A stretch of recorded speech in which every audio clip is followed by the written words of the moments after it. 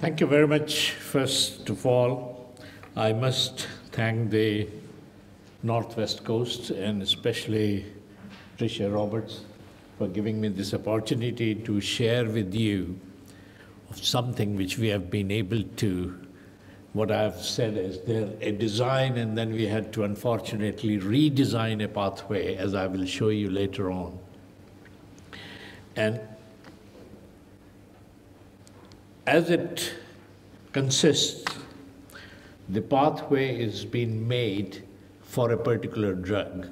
So I thought I will tell you a bit about the drug first. The drug in question is denosumab. It is a drug which we use in treatment for osteoporosis, and it is indicated both in primary as well as secondary prevention of osteoporotic fragility fractures. It has to be given by subcutaneous injections every six months.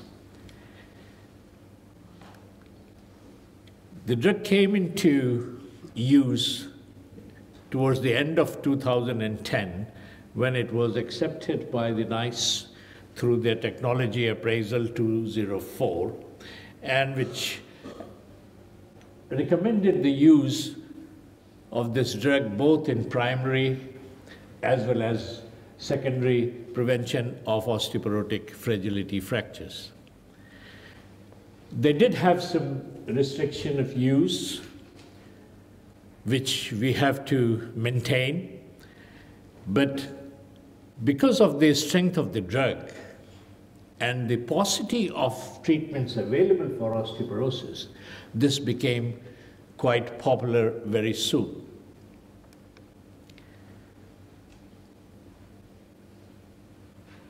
I've told you about the drug. I would also like to tell you about a bit about the service which we offer in our own trust. Our trust provides or looks after about 350,000 patients in North Liverpool. And we run a very busy osteoporosis service, which we call as metabolic bone disease service. And you can see from the data how busy the service is that we see around 1,000 new patients every year, which are referred from primary care. We also run a fracture liaison service. That means that anybody presenting to Aintree Hospital with a fragility fracture will be screened for osteoporosis and offer treatment if necessary. And also, referred internally from other departments of the, of the hospital. Apart from these 1,000 new patients, we, all, we follow up about 2,000 osteoporosis and other metabolic bone disease patients regularly in our clinics. So the rationale for this service or this pathway which we designed was that because of the, as I said, the popularity of the drug, very soon we realized that there are about 200 patients annually who come to us regularly for their six monthly injections, and for which we had to schedule extra clinics. Because if it is six monthly, it has to be six monthly. They can't wait nine months or 10 months. Patient's problem was that every time they have to have an injection, they just have to come to the hospital, look for a parking, which may be a problem, as you know, in most trusts, and I'm, I'm afraid it's also a problem in our trust as well. And in any case, most of these osteoporotic patients are very elderly patients, and it is not easy for them to come to hospital just to get an injection, which takes about a minute. The third thing, of course, was that the priority which the NHS England and all the NHS Health Department stresses that the time spent by the patient in hospital should be minimal and we should provide services nearer to the patient's home. So this, we had to find a solution. So what we did was we, to help us in our resource and capacity issues, we thought, why can't we get this six monthly injection back to the community where the patients can go to their own primary care physician and get the injections done rather than coming back to the hospital every six months. And it will help them. It will help many of the points or ideas of NHS England, which are also of the Northwest Coast as well. And that's what we did. And this is the process. I will take you through this because we did have a hiccup in the middle. If you see that this is where the, the denosumab was approved by the European Medicine Authority. The NICE gave it an approval in October 2010. By 2012, middle of 2012, we realized that we have got a large cohort of patients who need the six monthly injections. So we must do something if we can put them back into the community care. So by late 2012, we almost reached an agreement with the primary care that these patients can be treated or get their six monthly injections in the community. And that was possible because the Pan Mersey APC in 2011 gave an amber category to denosumab. Amber category in their traffic light system, classification system, is considered suitable for GP prescribing following specialist initiation and recommendation. So once we had this amber classification, we thought that we will be able to send these patients to the community. And in fact, we designed the letters and everything explaining the drug to the, to the general, general practitioner and telling them that this is what is needed to be done. But unfortunately, in October 2012, the MHRA came out with an alert that this drug can cause hypocalcemia. So you should be very cautious. The general practitioners became alerted. We were also alerted about it, and we thought that it's not going to work. We have to be careful. If we just send every patient to the community, we have to make sure that the proper precautions are taken. So we had to move back from there, and all the patients came back to the secondary care. And then we had to decide what we are going to do. The recommendations were that you check the calcium levels a week before the drug is injected, a week after the drug is injected, and make sure that the calcium levels have been normal before and they haven't gone down following the injection.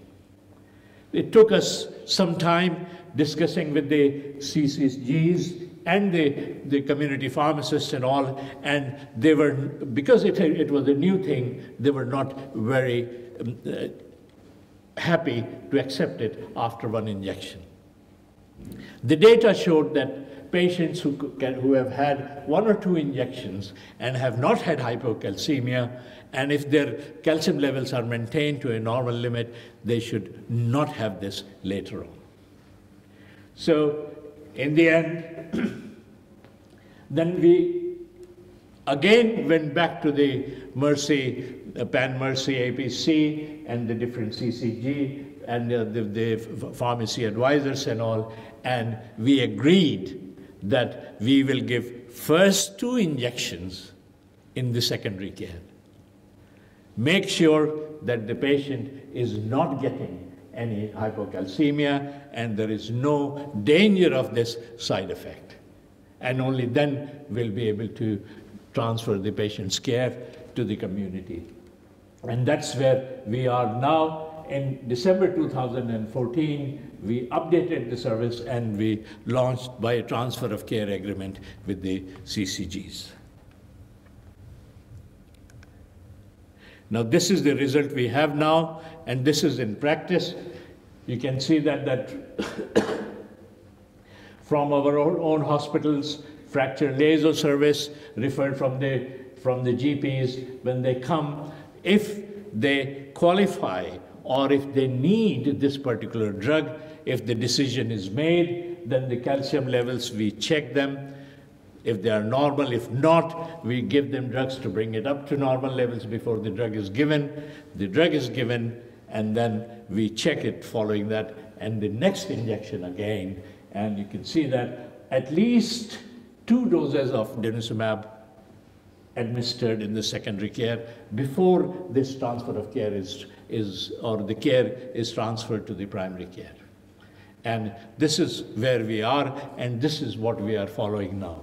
But it does have problems if the patient is unsuitable for management in primary care, like patients who have got uh, chronic kidney disease and all, or who need proper fo regular follow-up, we keep them in, in, in secondary care itself and keep on giving them injections there. But if they are deemed suitable for management in primary care, we send the patients care recommendations, telling the GP what is expected and what they should be doing, and also offering our services that if ever, whenever there is any problem, please let us know and we will see the patient again back in secondary care without any, without any delay. We have given our own telephone number, our osteoporosis nurse telephone number that they can always contact and refer the patient back to us. In all this, it was a collaborative process involving, of course, our own um, uh, osteoporosis service, for which I'm the lead, with, but we had the help from the hospital business manager, hospital pharmacy, and of course the Pan Mersey APC, and three CCGs with which we have to deal on regular basis. The, the, the benefits which we anticipate here is the patient, for the patients, the treatment is closer to home. And I've had one or two patients who have remarked that, oh, that's very good. I just don't have to come to the hospital just for an injection. We, this has helped us to release capacity. We can see more patients. We can lower our waiting times for other patients. And GPs also, they are quite happy that it is, reduces costs related to outpatient administration. And of course, they can oversee the overall or see, oversee the overall management of the patient's care. And of course, it fits in with the NWC points that the aging population and the budget restraints and what we should be trying to do is to shift to the community care. Thank you very much. I'm a